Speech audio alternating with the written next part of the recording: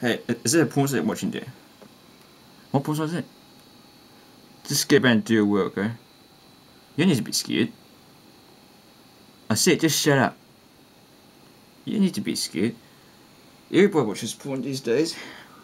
Alright, we've got some porno activity right here from CP3. So if you guys can trace any porno activity, it's from CP3, okay?